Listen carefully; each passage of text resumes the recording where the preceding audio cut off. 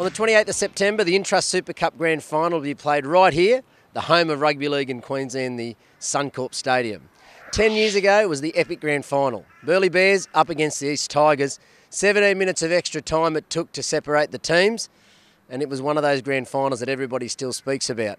Gentleman to my left here played a significant part in that day. Dane Campbell, how are you, mate? I'm well, Frankie. Thank you very much for having me. Well, a lot of people think you kicked that grand final to make the, the sorry, you kicked that sideline conversion to make it 18 all and went on to win the grand final, but unfortunately it wasn't quite like that. No, no, I uh, often get people confused with the, the kick as it was and uh, thinking that that won the grand final and sent us into the glory days, but unfortunately, no, mate, we went that 17 minutes and got pipped at the end with a uh, heartbreaking try to Big Shane Flanagan.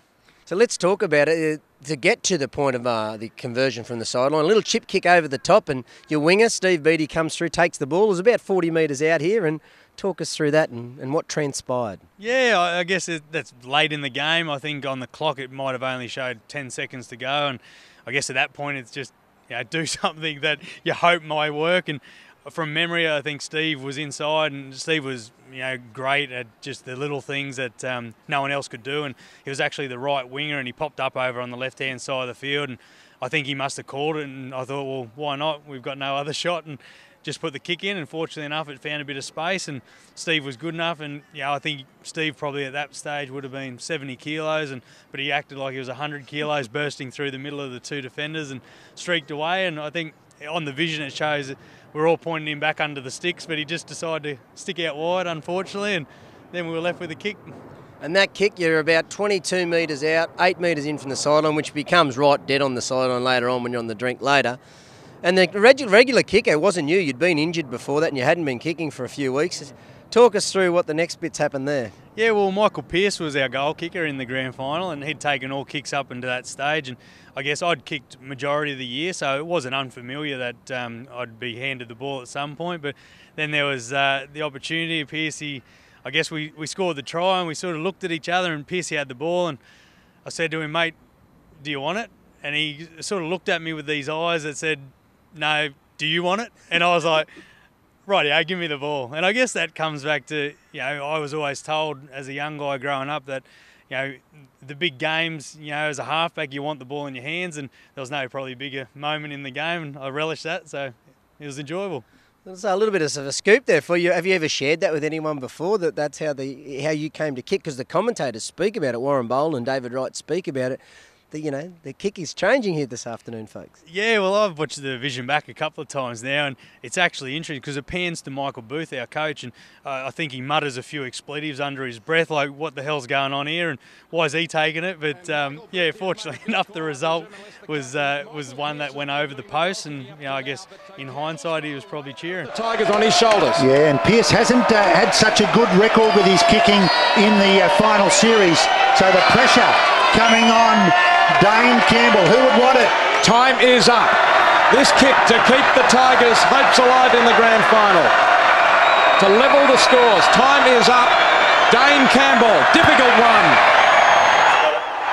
He's got it! We go into sudden death extra time. Incredible kick. Unbelievable.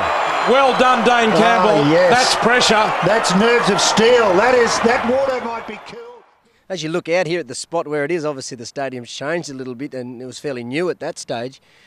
What memories come back to you as you, as you think of that spot?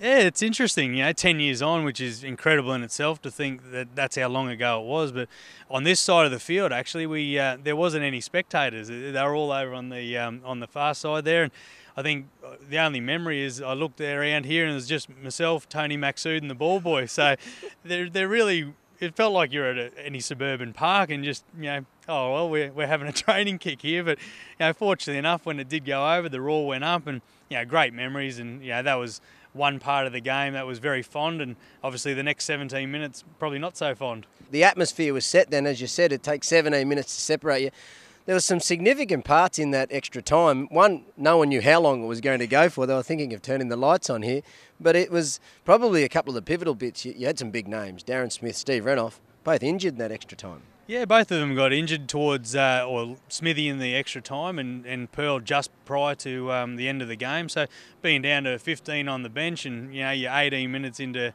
extra time and the legs were just jelly. Like you could hardly run. And I just remember when the, the try was scored, it just bending over, and obviously there's that point of um, disappointment. You've lost the grand final, but the other one was just sheer exhaustion. No one could hardly move, and it just they're scattered everywhere. It's just incredible to see on the vision now that everyone was just so flat out. And I guess for us, you know, we were only a bunch of kids, really. You know, like there was myself and Isaac Kaufman. We would have only been 21 at that stage. Um, Lee Coggill was the same. Dallas McElwain was only a year older, and you know, a lot of those guys went on to to feature in um, NRL fixtures over the, the, the, next few years post that game, and that was probably a, a, really good, significant moment. That I guess looking now with all the affiliations to NRL clubs, like we didn't have one at that stage. You know, it was just a bunch of blokes that probably come from all different backgrounds for an opportunity to play Q Cup that year, and fortunately enough, we gelled, and you know there was opportunity post that game. Famous names everywhere as well on both sides. Plenty went on, as you said, to play first grade.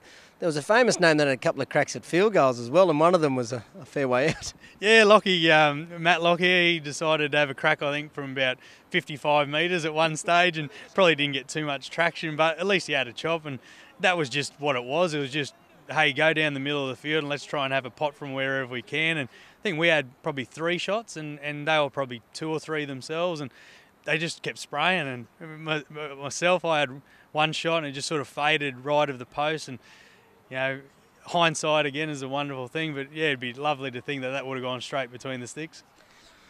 And to, and what are you doing day to day these days? You look fairly fit. Oh, mate, I, I try. It's uh, probably not as fit as I'd like to be, but living on the Sunshine Coast, beautiful uh, environment up there, and and have done so now for probably the last six or seven years and enjoying my time up there. Still involved with footy and, and coaching the local rep team up there. So uh, I guess, yeah, for me now, you know, I've got a, a passion for East and I played for Redcliffe as well. But now I, re- I would love to see the Falcons going really well. I'd love to see. Um, you know those guys really take off over the next few years, and the affiliation they've got with Melbourne now, hopefully, will be a good thing for them and the region moving forward. Only place to be on the 28th of September is right here as the Intrust Super Cup sizzles into September, and we'll see who can light up the final series.